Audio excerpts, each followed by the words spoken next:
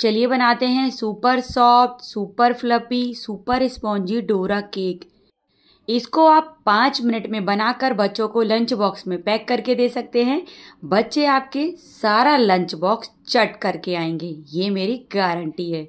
तो चलिए फटाफट से बिना देर किए हुए डोरेमोन के फेवरेट डोरा केक को बना लेते हैं।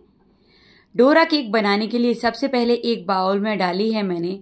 लगभग पाँच चम्मच के करीब मैदा, साथ ही साथ इसमें दो चम्मच पिसी हुई चीनी डाली और अब डाल रही हूँ मैं दो चम्मच कंडेंस मिल्क दोनों चीज़ें ही मैंने मीठी इस्तेमाल की हैं पर कम कम क्वांटिटी में की हैं।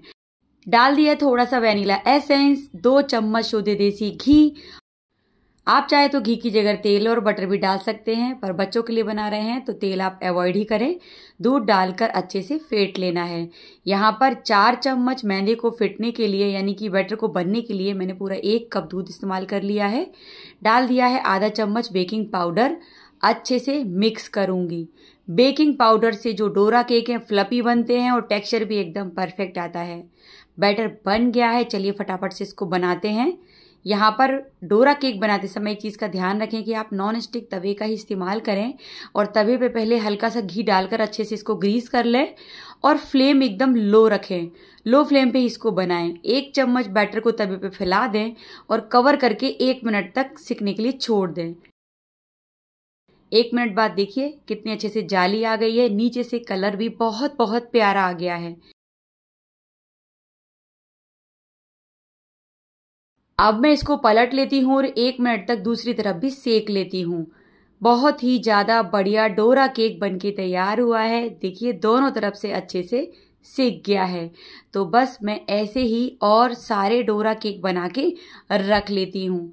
आप इनको रात में बनाकर सुबह बच्चों को पैक करके भी दे सकते हैं। आपकी मर्ज़ी, जैसे आपको बनाना है वैसे आप बना सकते हैं। ये देखिए, चार चम्मच मैंने में कितने सारे डोरा केक बन गए हैं। बहुत ही ज़्यादा फ्लपी है, एकदम स्पॉन्जी है। टेक्सचर भी एकदम परफेक्ट है। अब इसके बीचों बीच लगा लेते हैं चॉकलेट स्प्रेड। आप किसी भी अच्छी कंपनी के चॉकलेट स्प्रेड का इस्तेमाल कर सकते हैं। स्प्रेड लगाने के बाद दूसरे केक से इसको कवर कर देंगे। ये लो जी, बन गया यहाँ पर डोरा केक। लग रहा है ना, बहुत ही ज़्यादा बढ़िया ये।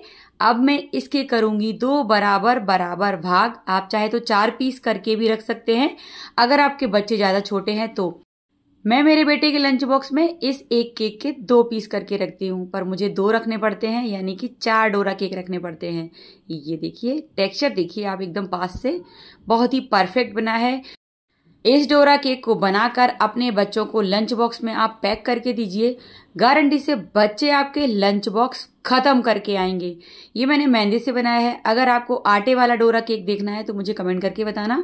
आइडिया अच्छा लगा तो वो भी मुझे कमेंट करके बताना। तब तक के लिए बाय बाय